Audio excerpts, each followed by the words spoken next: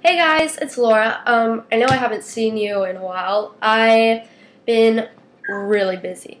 When I say really busy, I mean fairly busy, and then I take up all my free time reading. So, really busy. I actually also just kind of came down with a cold flu thing um, that lasted like a day and a half. It wasn't pleasant. So that's why I may like make some really gross sniffling noises, you know? And also why I sound extremely nasally.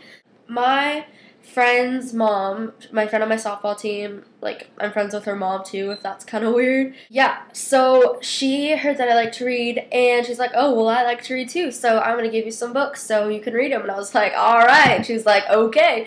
No, that's not really what happened, but that's my paraphrasing of the conversation. the book's called Crossroads by Belva Plain, not Belva Plain by Crossroads.